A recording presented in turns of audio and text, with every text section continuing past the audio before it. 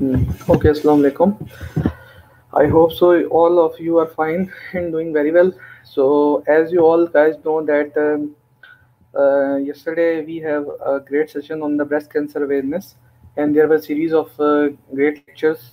Thanks to you guys, uh, uh, it was not possible without you that you supported us. Uh, now, being coming back to the lecture sessions, uh, which on which our YouTube channel we cover uh, as you guys uh, many of you guys have requested us so that we can carry out all pathology lectures. So um, today there is one more topic which is very important from the examination point of view as well as theoretical point of view and from the viva point of view as well uh, which is very very favorite of the examiners. And, and this is uh, very much important for you as a dentist also so today we will be discussing about the uh, cyst of the oral cavity. So without uh, any delay, I would like to uh, share my slides so that you guys can uh, see it. I hope so. This is visible to you all. So now let's start uh, with the cyst of or, uh, oral cavity. So cyst is basically any pathological lesion uh, there are two type of pathological lesions. Either it's a cyst or either it's a tumor. Both are uh, very very uh, harmful for the normal structures. Basically, both are the pathological lesions. So it can be either cyst or either a tumor. So we are discussing today uh, specifically cysts of the cavity. We will discussing about the odontogenesis, the cysts which are derived from the odonto odontome like uh, which are derived from the teeth and non-odontogenic which are non uh, uh, deriving from tooth like soft tissue cysts and the pseudocysts which are false cysts basically. So let's start. Uh, cyst of the oral cavity. A fluid filled cavity lined by an epithelium is known as cyst. So what is the definition of cyst? I think the definition of cyst is this. Asked by the examiner very much in the exam.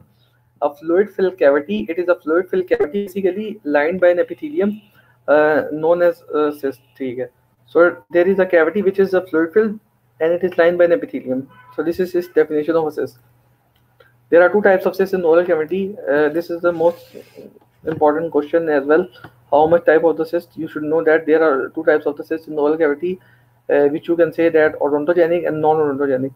Um, they are different on the basis of their source of their derivation. The cyst may be developmental or inflammatory. This is another important thing you should remember. Cysts can be developmentally which uh, are become on the development or it can be due to an, an inflammation or inflammatory reason. Okay let's continue. Uh, how uh, how does a cyst form the, pathogenesis this is a very important uh, viva question. Uh, you can be asked in the exam also. So what what happens first uh, the, there is a proliferation of the epithelial lining. uh, uh, Uh, uh, the cells in the epithelial lining start to proliferate and then there is a hydrostatic pressure of cystic fluid. The cystic fluid uh, uh con consists of the hydro hydrostatic pressure. Then it causes the resorption of the surrounding bone basically so in this way a cyst is formed. So i hope so you guys uh, got the point. Okay. Now how can we classify the cyst of the jaw? Basically we can classify it into two main headings uh, and, and, under the odontogenesis or non-odontogenesis. The then the non-odontogenesis and odontogenesis are further classified as follow.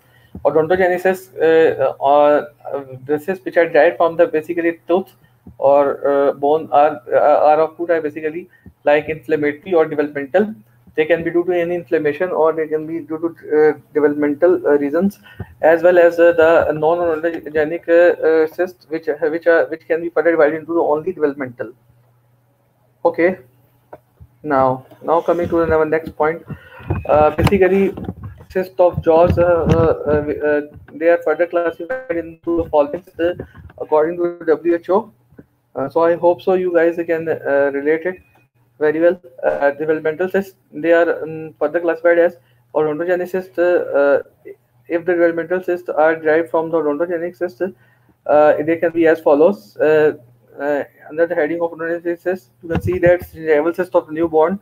In the newborn, you can you can see a, a cyst in the gingival portion or gingival cyst basically.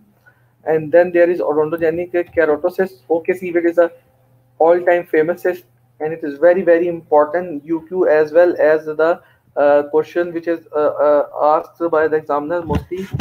Uh, so uh, do do prepare this very well, very much well for the exam because uh, all the viva and all the things will be asked related to it, and this is a very important for the theoretical point of view as well.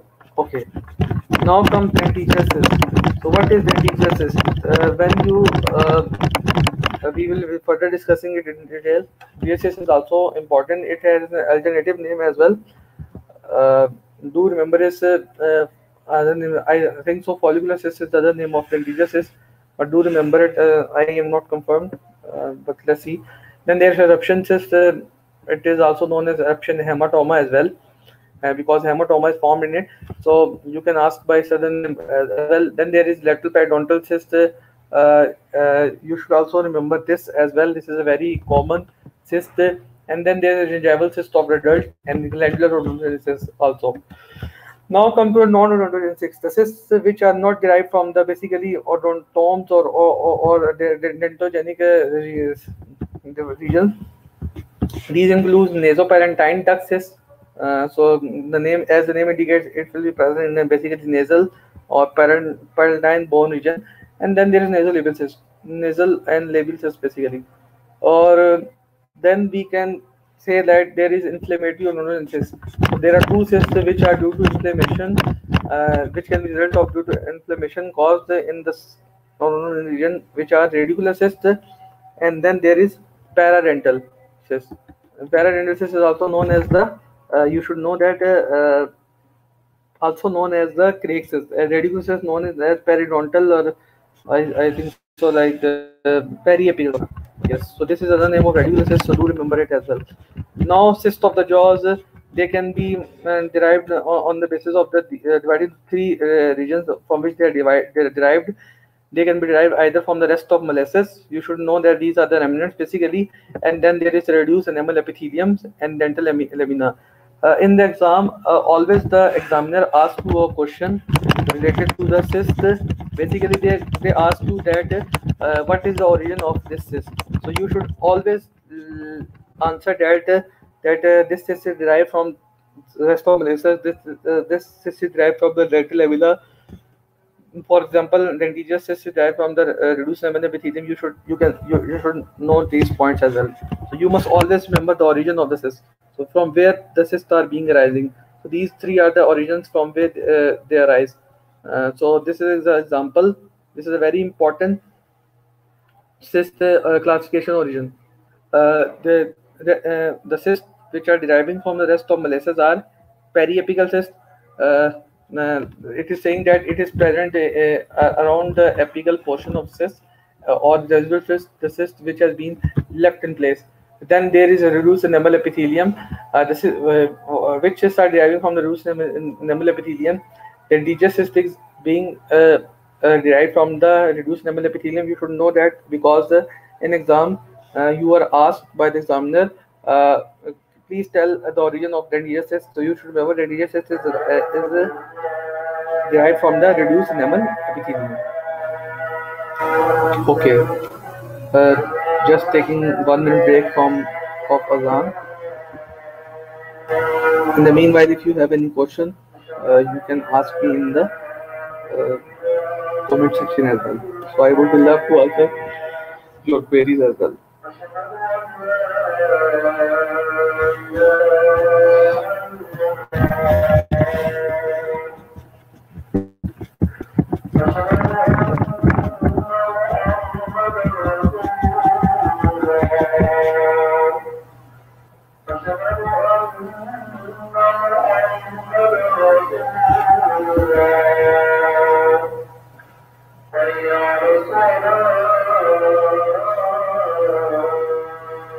Cyst.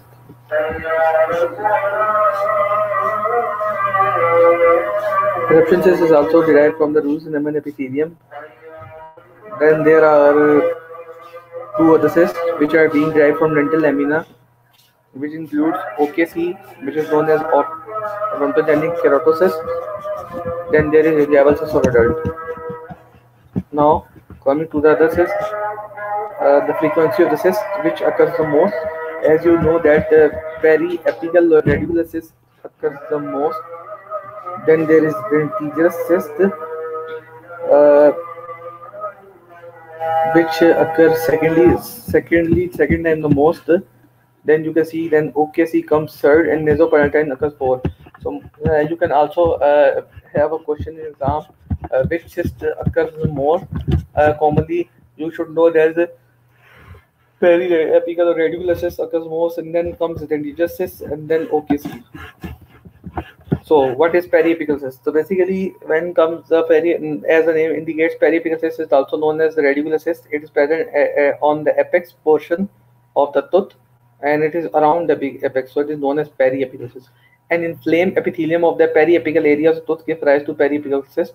So inflamed epithelium will give rise to the periapical areas of tooth give rise to the periapical cyst. Uh, it is also known as cyst. Do you should uh, know the alternative name as well because because uh, in the exam uh, a question can come uh, regarding the uh, radicular and you should know that its other name is cyst. So never confuse the, it with another cyst You should always remember that it is a periapical cyst. Now, moving forward, it is a two epithelium line cyst containing the fluid and cellular debris. Basically, this is a two cyst. You will uh, see uh, come across the cysts which are not true cysts and they are basically not lined and by the epithelium. That's why they are not true cysts. But it is a two epithelium line cyst and it contains fluid as well as the cellular debris then it arises from the rest of Malassez. So this is one of the important thing you should remember that it arises from the rest of uh, Malassez. Uh, then it is if it appear along the lateral aspect of the root, it is known as lateral cyst. Okay, this is also a very interesting thing that if it appears along the lateral aspect of the root, it is known as lateral radicular cyst. Okay. Now, what are the clinical features of periapical cyst? Uh, when uh, seeing clinically, you should uh, see that it can uh, present with following clinical feature. It is symptomless. Basically, your patient will have no symptoms until acutely inflamed. If it is, it is in the acute form and it is a, a infl inflammation you uh, see in acute form, then you can see like symptoms of pain and other things then you can see like swelling will occur on in that region and there will be a mild uh, sensitivity in that region too. Mobility of the adjacent teeth if the cyst enlarges basically if the cyst enlarges it will um, cause mobility of the adjacent teeth as well. Okay? You can see like uh, that in this picture uh, the star is occurring on the picture uh, tooth in this tooth you can see that uh, there is a, a, cyst present in the radicular portion uh, of uh, apex, in the apex periapical portion which is being enlarged. And uh, in, uh, like you can see like the, if the, there is a teeth uh, addition to it it will be then mobile and there is swelling and redness as well. Okay. Then coming to the radiographic features when we see it in the under the radiograph you see that the, the, the features are similar to periapical granuloma. You can see that this cyst is formed and it disappears like this. This under the root around the periapical region. Okay around the apex loss of lamina dura you can see that uh, uh, uh, in this picture there is a loss of lamina dura along with a well demarcated radiolucency so you will uh, see that there is a loss of lamina dura also and a well demarcated uh, radiolucency as well. You can see that this uh, there is a loss in this uh, uh, lamina dura around the apex as well as the well demarcated radiolucency. Uh, radiolucency always uh, you can see in black color encircles the apex of the affected tooth, and this is encircling basically the apex of the affected tooth. Uh, so uh, the root is uh, uh, also resorbed. you can see that in this picture, root is also being absorbed, resorbed as well. Then uh, the thing which are very important and the question comes in your exam as well as in your practical, uh, you are being asked uh, like uh, what are the histopathological features. You should remember that uh, these are all uh, these are lined by stratified squamous epithelium. And this is a one million or one dollar question that you should always remember that all the cysts of the oral cavity will be basically lined by the stratified squamous epithelium because the uh, oral uh, uh, oral epithelium is basically lined by the stratified squamous epithelium. So this is one of the important things you should know that. And which may be hyperplastic and may show uh, mucous metaplasia. So it may either be showing the signs of metaplasia or hyperplastic as well. Wall of lumen is made up of the dense fibrous connective tissue. Mm, the lumen wall will, will be made of a dense fibrous connective tissue uh, uh, inflamed with chronic inflammatory exudate through predominantly lymphocyte, plasma cell, and giant cells. So uh, it will also contain the chronic inflammatory uh, cells, uh, which are lymphocyte, plasma cell, and giant cells. Do remember these as well. Then what are the contents of radicular cysts? You will see these contents in the radicular cysts basically. You will find hyaline bodies, Rushton bodies. Uh, this is one of the important MCQ as well.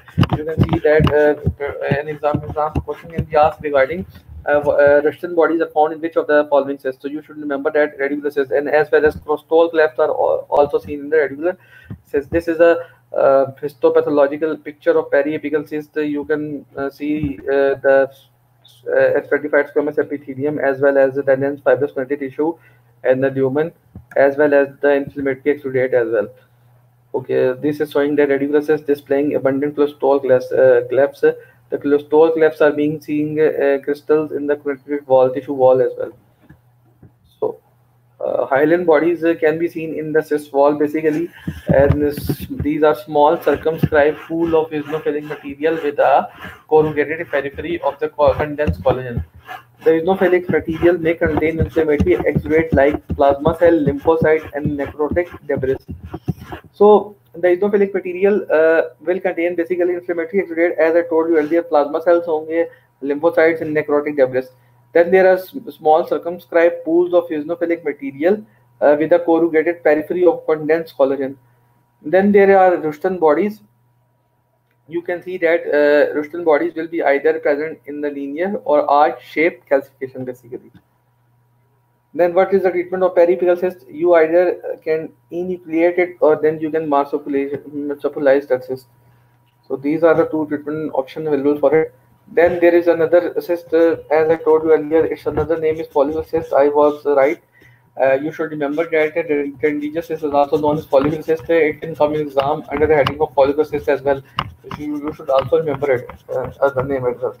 Then it originates from the separation of follicle from around the crown of an unerupted tooth. So uh, the cyst encloses the crown of the unerupted tooth and it is attached to the uh, tooth at the cemento junction. Basically, this is asked in the exam as well.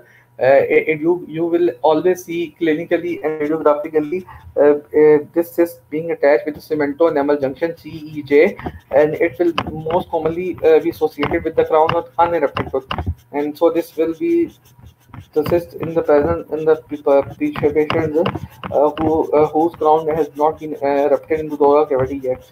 Uh, so this comes in a scenario, and you should always remember that cyst can be an option as well. It develops by the accumulation of fluid between the reduced enamel epithelium to the crown. So this is one of the OSCE station uh, highlighting point. You should remember, and if this if this comes in the theoretical scenario as well, you should be you should know that uh, this this thing only occurs uh, in the anterior shape that it can be developed by the accumulation of fluid between the roots and the epithelium as well as the tooth crown. Okay. When what are the then clinical features of the cyst then the cyst have the following clinical features. It occurs in the age of 10 to 30 years of age. Uh, then the sites which are more commonly involved are mandibular molar area.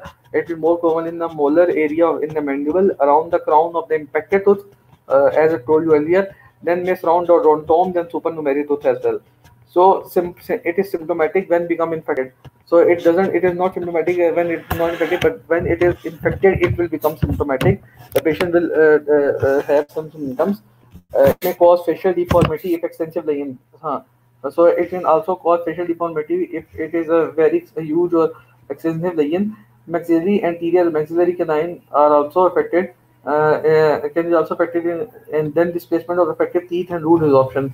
So the teeth in which it will be present, then uh, they will be displaced basically, and there will be root resorption in it. So you can see in this picture, clinical picture, that it is present basically around the tooth of unerupted crown of unerupted tooth, uh, uh, which is not being erupted in the oral cavity yet. And uh, you can see this picture this is more clinical uh, descriptive uh, picture of this tooth. Then what are uh, what are the radiographic features of the dentigerous cyst? Then dentigerous cyst has following radiographic features. It is it is either well demarcated. Uh, you can see that it is very very much well demarcated. You can see that radiolucency as well uh, around the crown of the unerupted tooth. So this picture can come in your OSCE session and OSPE session as well. And you should remember that if the uh, crown of unerupted tooth is covered by the this radial this type of radiolucency, this will always occur in the dentigenesis. So you should also uh, you, should, you come to diagnosis very fast uh, after seeing this picture. Uh, uh, then there are histopathological features. Uh, you should you can see like fibrous connective tissue wall, uh, which will, uh, will lose their range then 2 to 4 cell thick epithelial lining of epithelial cell. This is also MCQ. Uh, how much thick epithelial lining composed of epithelial cells? 2 to 4 cells. And then there is mucous cells in the lining as well. So then what's the treatment of dentigenesis? Enucleation with the removal of unerupted tooth reoccurrence is uh, uncommon. Basically, reoccurrence is very, very uncommon. Uh, the enucleation can uh, uh, be uh, with the help of the enucleation you can treat with the mole of unerupted tooth basically. Now comes the most famous uh, or says uh, basically or says it is known as OKC or uh, this is a very very favorite question and topic from the exam point of view as well for, for the Viva for the examiner. So you should know about it very much. Uh, it arises from dental lamina so you should remember its origin as well.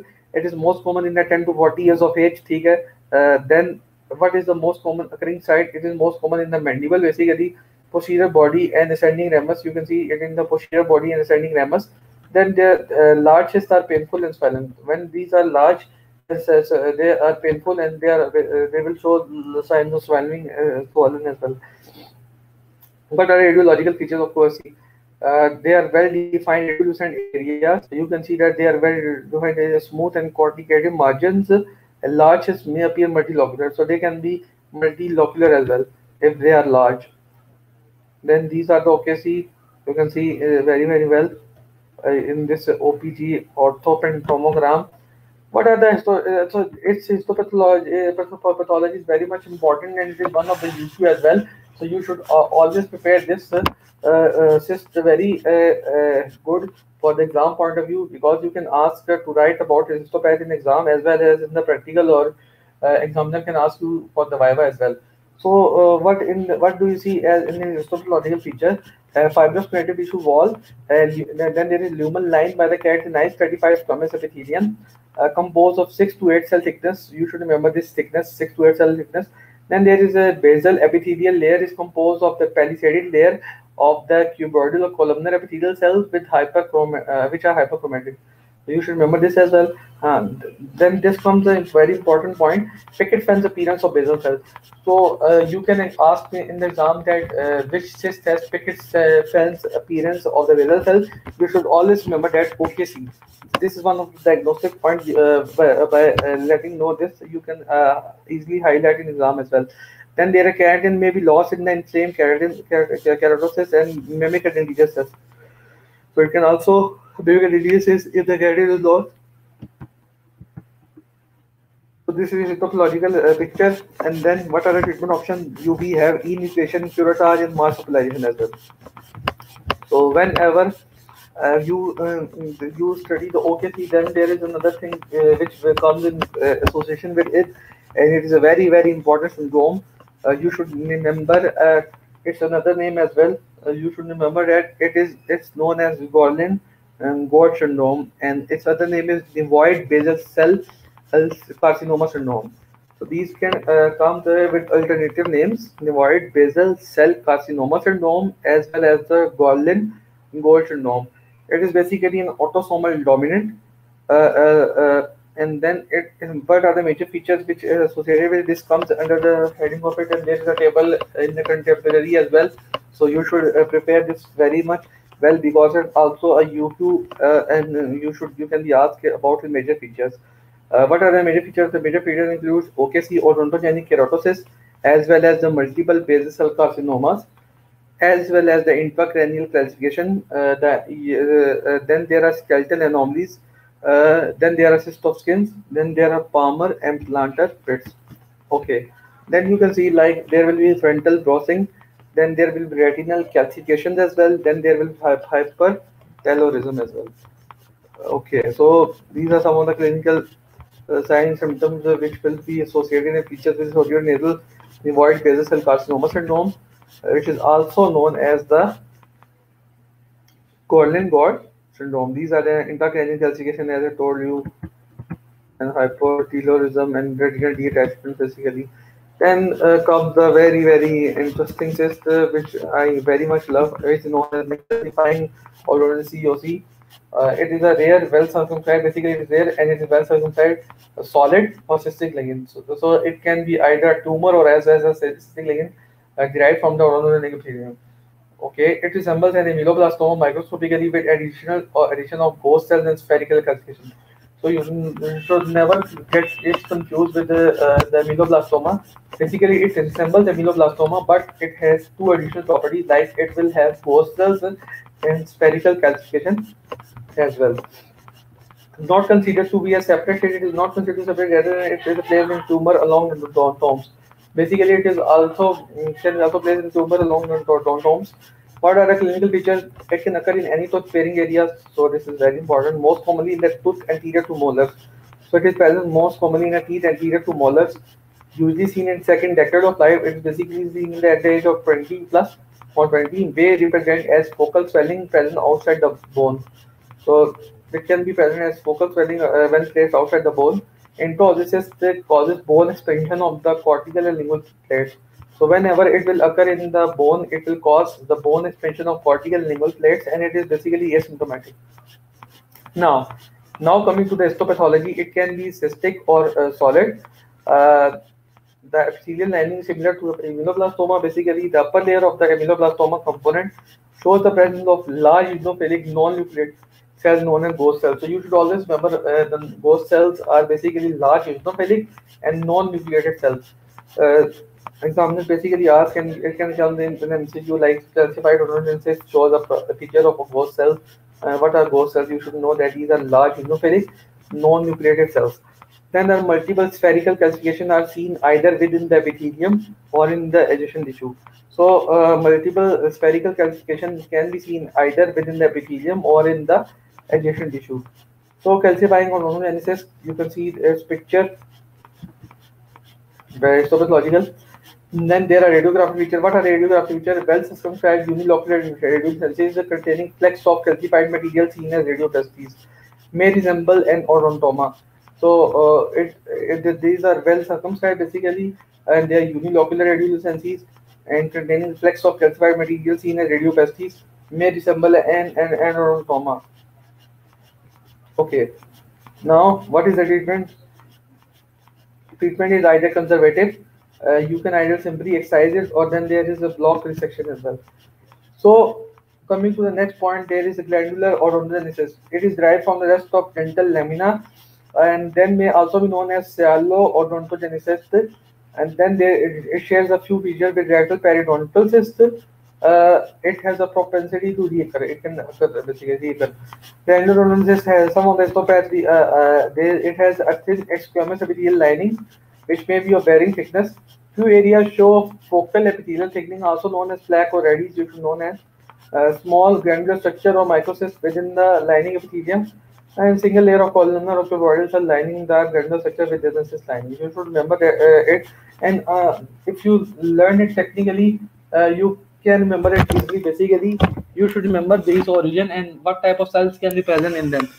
As the name indicates, it's a granular cell, so it will contain basically cuboidal columnar cells as well as the um, uh, and dendro structures as well. And odontogenic, so it will have focal epithelial lining as well. Okay, what are these radiographic features? It is seen basically in mandible. Unilocular can be uh, uh, unilocular single uh, nodule or multilocular radiolucencies. They are well defined. What is the treatment? They are surgically enucleated, followed by the curettage, and recurrence is common. Okay. Now, now coming to the eruption cyst. Eruption cyst is also known as eruption hematoma. You should also remember that typical clinical feature of an eruption cyst bluish colored dome shaped swelling on the unerupted molar. So it will show the bluish colored dome and shape swelling uh, on the molar which is unerupted. The cyst is nothing but an indigenous cyst occurring in the soft tissue instead of bone. Okay, this is one important one. This is nothing but a dendriosis occurring in soft tissue instead of bone. So it is occurring, uh, this is the, which is occurring on soft tissue. You can see like this. This is a blue color shaped dome swelling present on the this is present on the soft tissue, not on bone. So this is basically uh, I told you eruption cyst or trauma. This is a dendriosis basically. Then there is a, a gingival cyst of adult, uncommon cyst of the gingival soft tissue. Very, very, very uncommon occurs free or, or, or on the attached gingiva. It can occur on free or as well as attached gingiva believed to be soft tissue counterpart of the lateral periodontal. So do, do remember this line as well, because uh, in this line you uh, you can come. Uh, what is a soft tissue counterpart of the lateral periodontal uh, cyst? You know, the gingival cyst of is the believed to be soft tissue counterpart of the lateral periodontal. Now, is the pathology to arise from the rest of dental lamina? It can be also asked. Then clinical feature uh, age incidence is uh, the fifth to sixth decade of life. Incidence is fecal predilection. Uh, side predilection is premolar uh, to canine region. So signs and symptoms slowly in enlarging. It is basically slowly enlarging. It enlarges slowly and is well circumscribed uh, and it is painless swelling. These are the three points. It invariably occurs as a facial aspect of the free or attached gingiva. Then surface of lesion is smooth of normal color. Fluctuant lesion adjacent to the teeth are vital. Surface of lesion is smooth of the normal color and fluctuant lesion adjacent to teeth are vital. Okay. So what are the differential diagnosis? Gingival swelling epulis must be considered uh, in the differential diagnosis as well. Uh, these are the some of the differential diagnoses you should remember. Uh, the peripheral cell granuloma, pyogenic granuloma, peripheral occipying fibroma, irritational fibroma and these will have for these histological features uh, that they are similar to the lateral periodontal cysts. Some cysts are lined by stratified squamous epithelium. Sometimes focal thickening may be found within the epithelium. Treatment is best treated by it is best treated by the local surgical excision basically. Then lateral periodontal cysts, uh, you can see that they are uncommon but well recognized type of odontogenesis cysts. Uh, uh, designation of LPC uh, lateral periodontal is restricted to only those cysts which occur in a periodontal region on the lateral aspect of teeth. So this will only occur in lateral aspect of teeth and uh, in which inflammatory etiology and diagnosis of collateral oxy are ruled out of clinically and histologically. So uh, it occurs mostly in the 6 to 70 years of age. Uh, it occurs more commonly in the males. And then the sites which occur, uh, it is more are uh, lateral periodontal regions of the mandibular premolar area followed by anterior maxilla. So this can come in your MCQ as well. That PDL regions of mandibular premolar area, they are the more common side as well. Signs symptoms is usually is asymptomatic. Identical on lateral aspects of the roots of surface. Basically, occasionally pain and swelling may occur. Occasionally it can come present with the pain and swelling. Associated teeth are vital. Basically, the teeth which are being associated are vital unless otherwise affected. Uh, cyst rarely is less than 1 centimeter size except for botryoid variety. Okay, I also told you botryoid variety can uh, come in the under the heading of the crack cyst, uh, which is large and multilocular region. Okay. The radiological features are uh, round to ovoid reduced senses will be present with sclerotic margin. Cyst may be present anywhere between the cervical margin or apex. Basically, uh, you can see between the cervical margin to apex. Radiologically, it can confused with collateral OKC as well. So radiologically, you can confuse it with the OKC. Don't confuse it that. Okay. Then what's the differential diagnosis? In the differential diagnosis, you can see that uh, following region must be considered differential diagnosis. Collateral o OKC lateral radicular cyst if associated tooth is non-vital. So if the tooth is associated with non-vital, you can you will uh, relate it with radicular. Pathogenesis, it is similar to gingival cyst of. The cyst too arises from the dental lamina. What are the histological features? It is most commonly a non-thin, non-keratinizing epithelium. If the lining is appears keratinized, diagnosis collateral OKC is given. This is one of the two differences you can see between the OKC as well as the uh, this uh, uh cyst uh, lateral. Uh, it is non-keratinizing, and the other was the other one OKC was keratinizing. Many thick regions of the lining may show focal epithelium thickening plaques as well. Some epithelial nest may seen in the CD wall, which show the sign of mid inflammation. So treatment, what is treatment? Small cysts are treated by surgical enucleation and the larger, especially botryoid variety must be followed after enucleation to watch for the recurrence because they can occur, uh, uh, reoccur as well. So here ends our uh, today's slide and our today's topic of the uh, cyst of the oral cavity. Uh, it it has it, it didn't cover the pseudocyst, which are the false cysts basically um, but you should remember uh, two things basically uh, that these cysts don't have uh, uh epithelial lining as present in the two cysts which are covered by the uh, epithelial lining. And uh, if there are some of the, the names it inshallah i will try to cover this in, the, in any other upcoming lecture on the oral cavity cyst. But for now um, now you should remember there are some cysts which are known as pseudocysts so that are there are two types, basically true cysts and false cysts. So false cysts are also known as pseudocysts, and these cysts don't have epithelium lining. So hope so this lecture was uh, uh, useful for you guys, and uh, you came to know about the cyst of oral cavity. Thanks a lot for listening, and do subscribe my YouTube channel, and do let me know in comment section if you uh, love this lecture or you want me another lecture to cover uh, any topic on oral pathology or of any subjects. Thanks a lot. खुदा हाफिज़।